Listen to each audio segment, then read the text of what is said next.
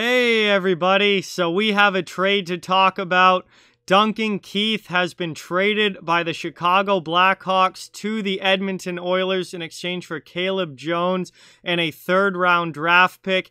Keith has been a guy that's been talked about a lot this offseason. He was very likely to be traded.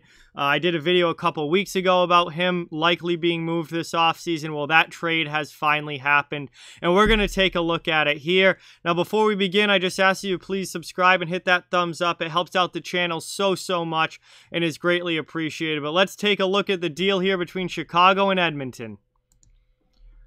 So the Edmonton Oilers receive defenseman Duncan Keith from the Blackhawks, who he has two years left on his deal at 5.538 million per season, in exchange for defenseman Caleb Jones, who has one year left on his deal at 850k, and a third round pick going to the Chicago Blackhawks. Duncan Keith is 37, Caleb Jones is 24. So this is an interesting deal here, and uh, Edmonton is already getting dragged uh, on the internet for this. And honestly, at face value, this is a great deal for the Chicago Blackhawks. And I'm not saying that Duncan Keith can't play an effective role with the Edmonton Oilers, but the price that Edmonton has paid here for Duncan Keith, especially with no salary on Keith's contract being retained by the Blackhawks, it, this is um, particularly tough if you're an Edmonton Oilers fan. So just uh, Duncan Keith, I'm obviously three-time Stanley Cup champion, Conn Smythe winner, former Norris Trophy winner. Very, very good defenseman throughout his NHL career. He played in his entire career, career with the Blackhawks. Um, up until obviously now starting next season. But his play and his numbers have significantly declined over the past couple of seasons. Um, 2019 2020, he only had uh, 27 points. And then this past year, uh, he just had 15 points in 54 games for Chicago. He was also a minus 13. There's been a significant decline in his overall play.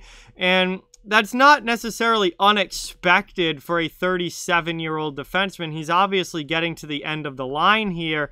Um, Chicago was still using him way too much. They were playing him like a top pair defenseman, which he is not anymore. And, you know, Chicago wasn't exactly putting him in the best position to succeed either. However, the problem with Duncan Keith is that he's making 5.538 million per season for another 2 years, this coming season and the year after that. So, he will be 39 when this contract ends. And Duncan Keith at this point I think can play an effective role in the middle or bottom pair of a defense lineup. He's a veteran guy with a ton of experience and can still play decent defensive hockey. But with their the problem with this deal is that there is no one of the problems with this deal is that there is no salary retained which means Edmonton is going to have to pay, and this is a cap hit of the full 5.538 million for the Edmonton Oilers. I mean, this is not a good contract, and I don't know why the Oilers were so willing to take on this contract without Chicago eating some of it. I mean, that that's baffling to me, and if you're an Oilers fan, I would imagine that that is baffling to them as well. I mean, listen, Duncan Keith is not what he used to be. He can still play an effective role.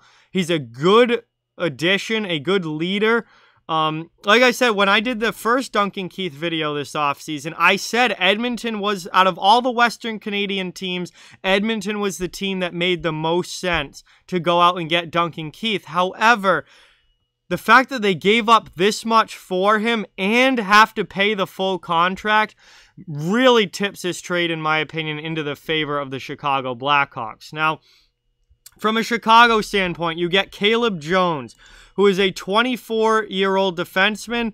Uh, he uh, is a left shot.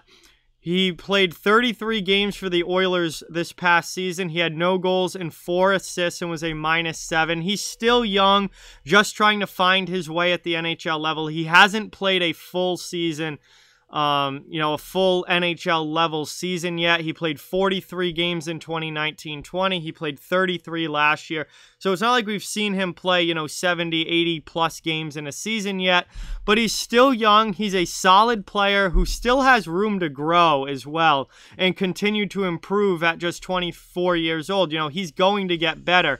And I think he is going to be a really solid young addition to the Chicago back end. They also get a third round pick. And this is another thing. This is a steep price to pay for Duncan Keith at 37 years old if you're the Edmonton Oilers. You're giving up a 24 year old young defenseman who is just about ready to break into a full time NHL role and a third round pick for a 37 year old guy on a bad contract that's that's tough to swallow as the Oilers here. Uh, and again, like if this was just Caleb Jones for Duncan Keith, you know, I, I could maybe see that. That would at least that would make Edmonton better in the short term, but maybe not work out as good long term. If it was just Duncan Keith for a third round pick, I think that that would even um, end up you know, that might even favor the Oilers, per, honestly, um, because I do think that Duncan Keith can be an effective mid pair guy with Edmonton or a bottom pair guy.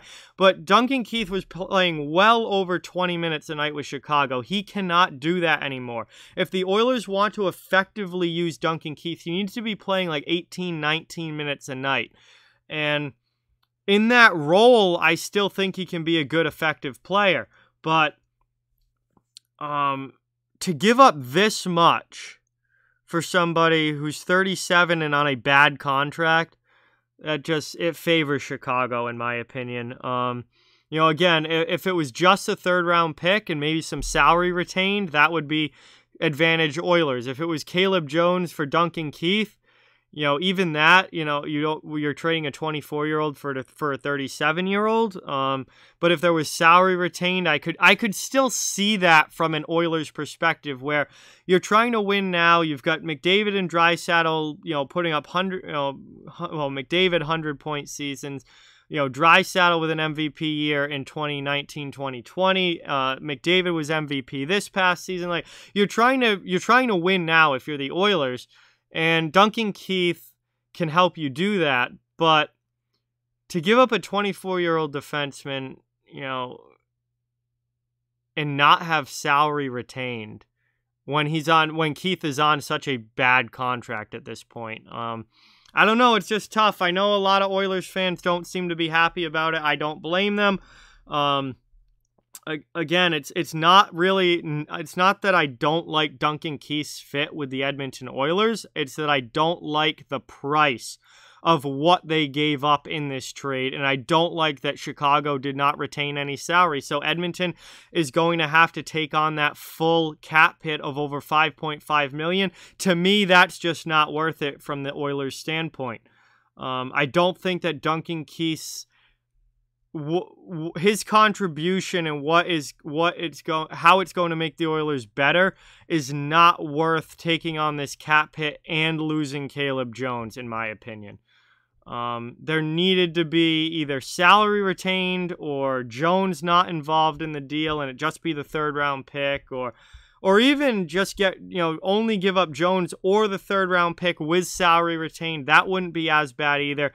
Those kind of deals I could see from an Edmonton standpoint, but this one and how it actually shaped out screams win for Chicago in my point. You get a younger player and a third round pick, you know, and the young player has a pretty decent ceiling as well with Caleb Jones and you give up a 37 year old defenseman who is on a pretty significant decline and um, you know getting down to the last probably few years of his NHL career here. So um, I don't know. That's my opinion on it. Let me know what you guys think down in the comments. But I really think that this is a a good trade for the Chicago Blackhawks, and I'm really not sure why the Oilers had to give up this much or why the Oilers would agree to give up this much for Duncan Keith, who is clearly not a top pair defenseman anymore. But um, the deal is done. This is what it is, and uh, we'll see how it works out for both sides next season. But don't forget to like, comment, share, subscribe, follow on social media. All those links are down in the description. If you'd like to further support the channel, the links to our Patreon, merchandise store, donation link, and channel memberships are in the description as well. Keep spreading the word about this channel. Let's keep this thing growing. Thank you very much for watching. Hope you enjoyed the video, and I'll talk to you guys soon.